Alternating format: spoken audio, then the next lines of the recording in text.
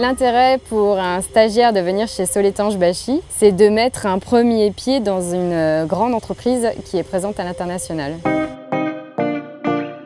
Il y a beaucoup de perspectives pour les stagiaires aujourd'hui chez nous, l'activité explose. Le stagiaire, il a quand même des, des responsabilités. L'intérêt pour nous d'avoir des stagiaires, c'est vraiment d'avoir des collaborateurs à part entière. On lui fait confiance.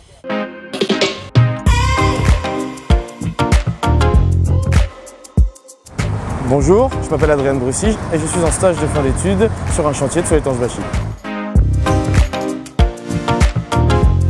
Soletange Bachy, c'est une entreprise à taille humaine qui est reconnue pour tous les ouvrages qu'elle a effectués et qui en plus est supportée par un grand groupe. Du coup, ça donne accès à beaucoup d'informations de tout type et qui permettent d'avoir pour un stagiaire de multiples formations et d'être vraiment préparé à travailler.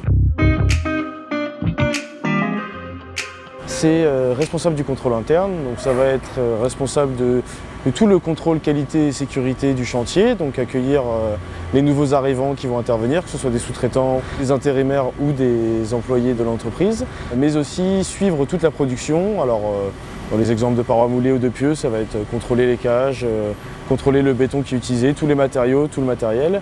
Et enfin, c'est également une assistance quotidienne de l'ingénieur travaux et du conducteur travaux pour préparer les différents ateliers et suivre euh, à peu près tout ce qui se passe sur le chantier. Ce que je trouve intéressant dans la géotechnique, c'est que chaque chantier va être unique de par sa composition de sol.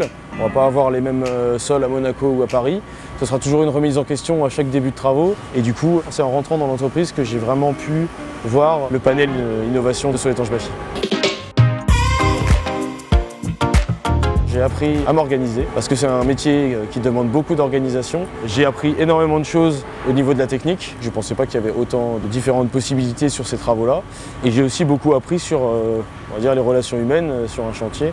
D'être six mois en immersion totale avec ces équipes, c'est vraiment intéressant parce qu'on voit des gens de plein d'horizons différents et au final on fait tous le même travail.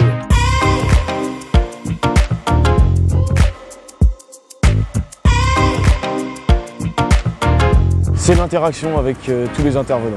Je vais avoir des fournisseurs d'acier, je vais avoir la maîtrise d'œuvre, je vais avoir le bureau d'études, je vais avoir euh, les topographes. Et toutes ces interactions vont faire que je vais toucher à des sujets que je ne connais pas forcément et ils vont en discuter avec moi. Et c'est ça qui me plaît justement dans le stage, c'est que je suis responsabilisé et j'ai affaire à toutes ces entités.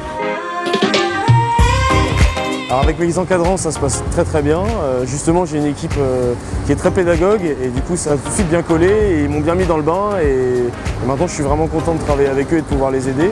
Et au niveau des équipes, ça s'est toujours bien passé parce que justement, je suis avec eux sur le chantier euh, à faire la qualité, donc je suis de près ce qui se passe et ils m'apprennent beaucoup de choses. C'est aussi ça, je pense, qui fait que la relation est bonne, c'est que j'arrive en ne sachant rien et ils aiment bien partager avec moi les différentes connaissances qu'ils ont. À la fin de mon stage, je pars en VIE euh, en Angleterre, à Londres, sur un autre grand projet. Et ensuite, pourquoi pas continuer, si ça me plaît, à travailler à l'international avec euh, l'entreprise. J'ai vu un grand projet, j'ai rencontré des super personnes et, euh, et j'ai servi à quelque chose.